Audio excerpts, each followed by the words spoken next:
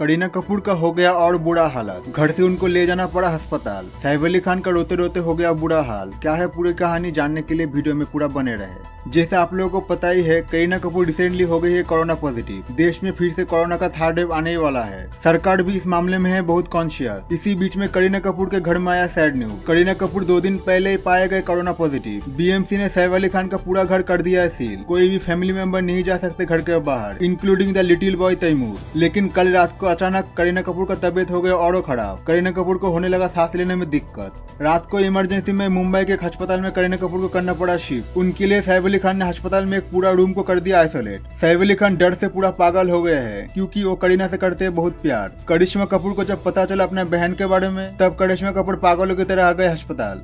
सैफ ने पूरी medical team को इमरजेंसी में रात को बुलाया और उन लोगों से गुजारिश की, प्लीज़, करीना को कुछ नहीं होना चाहिए। बच्चों का भी रोते रोते हो गया बुरा हाल। तैमूर अब हो गया है बड़ा। उसको समझ में आता है, मम्मी का तबीयत अभी सही नहीं है। उसने रोते रोते सैफ अली खान को बोला, please papa, bring my mom back at home. Khan और कपूर परिवार में छा गया शोक का छाया। एक एक करके बॉलीवुड स्टार भी आ रहे करीना को देखने के लिए अस्पताल।